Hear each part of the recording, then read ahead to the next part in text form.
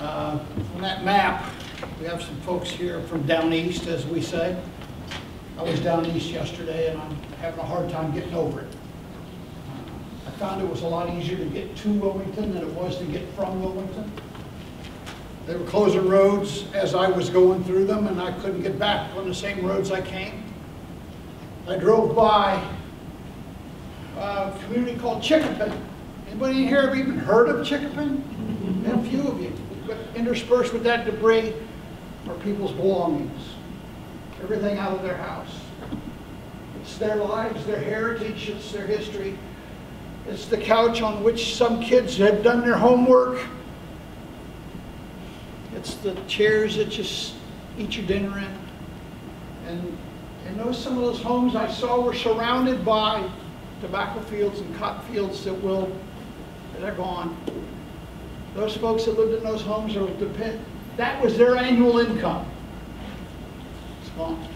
What are we gonna do about that? So it's very much on my mind and should be on the minds of us all, because these are our kids. These are our people. Um, There is no light switch. We're not gonna fix it with a piece of legislation. We're not gonna fix it with money. Really, we can certainly help, help a lot. Because we're gonna have to fix broken hearts and in some cases, broken heads. We've got a challenge ahead of us on, on education in particular. These kids are gonna miss school days. In some cases, they're gonna miss a lot of school days. And we've got not just teachers that are gonna miss days, but we've got cafeteria workers and bus drivers that are gonna miss, and they're gonna miss paychecks because they were paid not from state coffers, they were paid on receipts. We gotta do something about that, and I'm not exactly sure how I'm gonna do that. But I am not going to let those people hang, leave those people hanging. Now, a couple of years ago, we started a project in North Carolina called Advanced Teaching Roles. Some of your districts may be involved in it, some are not. But the, the concept behind Advanced Teaching Roles was to, to address two issues. Those two issues, how do we attract and retain high-quality teachers in the classroom? Keep them there and not, and allow them an opportunity to grow in their profession without the need to leave the classroom. That's a challenge nationwide, not just North Carolina. The second part is, how do we change the leadership dynamic in the schoolhouse?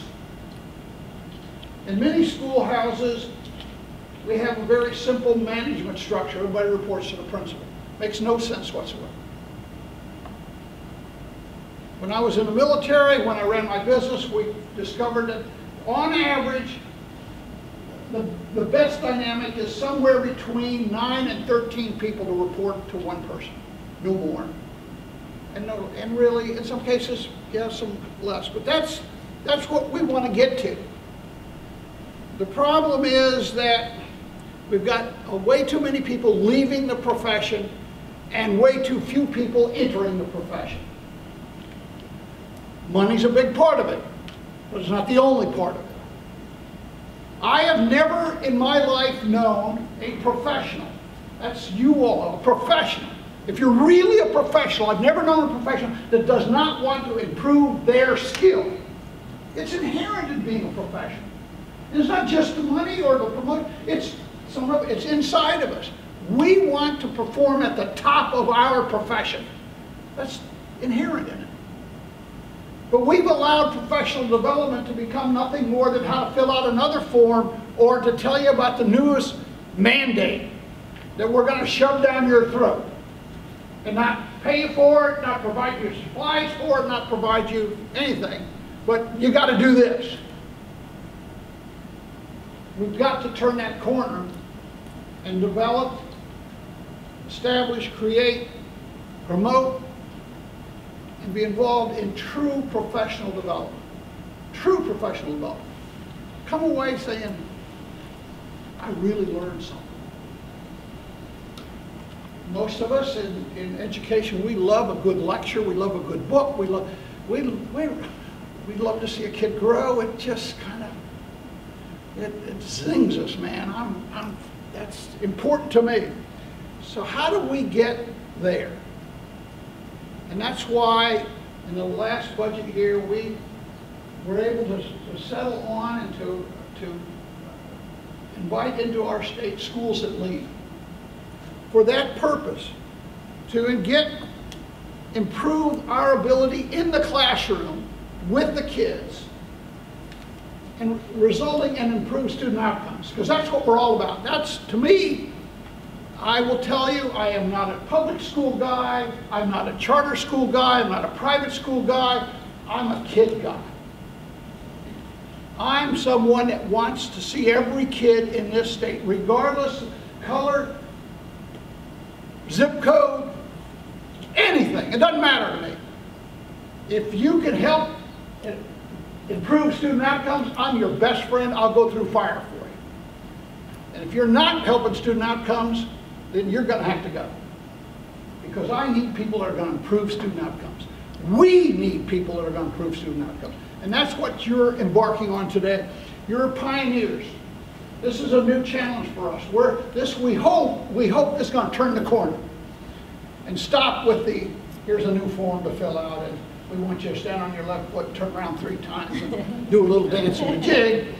And by the way, then we're going to tell you what bums you are. I spent a few years, I'm not an educator. Obviously, my vocabulary is not that good. I wish it was better. I work hard at it. I'm not even educated. But I'm in a spot, by luck or divine providence, to help. Sometimes the best help I can offer you is get out of your way. Oft times the best help I can offer you is get out of your way.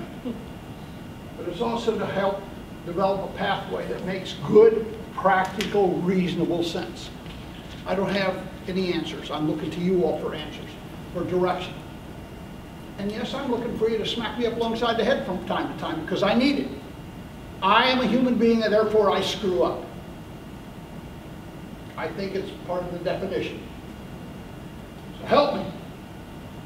I'm begging you I need your help, your advice, and yes, I need you to smack me up alongside the head.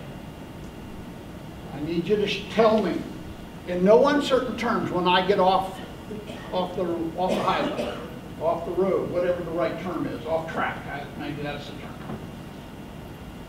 I need that help, but you, and you are going to be particularly positioned to do that. We don't need to throw rocks at each other. We don't have to throw each other under the bus. We need to talk to each other, not at each other. We need to learn how to disagree. There is an art to disagreement, like there is an art to communication. Part of the art of disagreement is understanding. In fact, is it's a huge part. I, if I don't understand your challenges and your concerns, then how can I disagree with you? because I don't know what I'm disagreeing about. But we have a toxic atmosphere this day, these days that's not helping at all. So that's why we're here today together. Uh, I'm going to have to get on out of here where I'm still trying to figure out how what we're going to do. We're coming back to session next Tuesday. Oh my. Fear for your lives when the General Assembly's in session. but we're going to try and focus and hopefully come up, this is a three-part process. We're going to have, we're going to come into session on Tuesday to do something of an immediate nature. Part of that is to relieve some of the concern and pressure that are on some families and people, whether they be teachers or cafeteria workers or students. We've got families that have lost everything. We've got students that will not be back to school in our community college and our university system. They, they, they can't. We got students that are losing instructional days and we can't afford that either. I, I'm not smart enough. I'm hoping that between here and the, and the legislative building on my drive back that a, a little lightning will come up on me and I'll have, oh, here's what we're going to do. So, and then we've got the interim part. And then we've got the long-term part because we got buildings that'll, that we, we can't put students back in those buildings or we can't put human beings back in those buildings. So I don't know how we're going to do it, I don't even know what we're gonna do yet, but I'm, part of our job, our, our, all of us, our job to figure it out. Which means we'll screw some things up, but okay. I'm an old sales guy. I used to, it didn't take me long to figure out that I had to make 17 calls to get a yes. 17 call, took 17 sales calls to get a yes. So bring on the no's because it moves me closer to yes. Rather than getting you down, no, bring them on. Hurry it up, because the faster I get through those 16, I get to number 17, and oh, man! So, thank you very much, very much. Keep our lines of communication open. I need to hear from you. I need to know what's on your mind. I need to know what ideas you have. Because we can do this. We've done it before. And we're, and we're gonna face these things again as well. I mean, life is. Life is. So let's get through those 16 so we get there to number 17. Thank you all very much. Appreciate what you're doing.